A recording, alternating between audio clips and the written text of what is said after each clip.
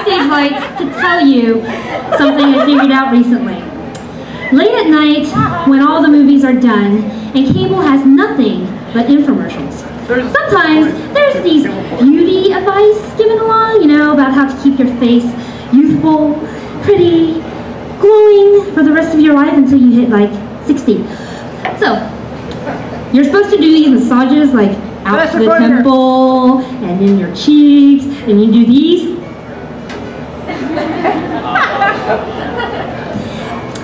But you know what? You don't really have to do that because I figured it out. When you cry, you make the same expressions and use the Okay, one, two, one, two, three, four.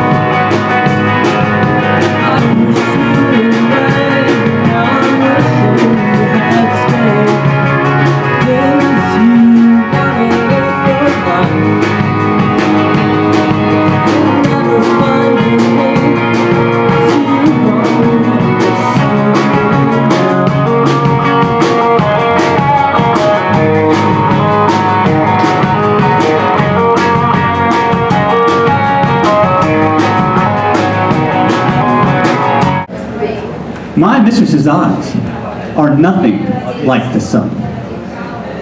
Coral is far more red than her lips red. If snow be white, why then her breast a dun, which is Shakespearean for poo colored. Interesting fact. If hairs be wires, black wires grow on her head. I've seen roses damasked, both red and white, but no such roses see I in her cheeks. And in some perfumes is there more delight than in the breath with which my mistress reeks. I love to hear her speak, yet well I know music hath a far more pleasing sound. And I grant, I never saw a goddess go. My mistress, when she walks, treads on ground. It's true. And yet, by heaven, I grant my love as rare as any she belies with false compare.